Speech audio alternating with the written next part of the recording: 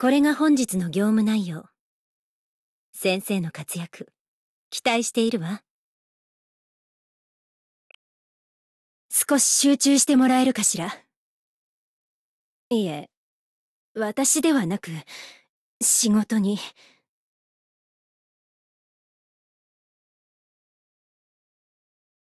そう警戒しないでちょうだい。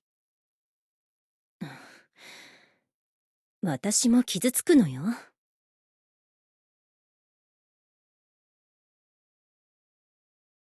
あの、私のことはいいから、あっちを確認してちょうだい。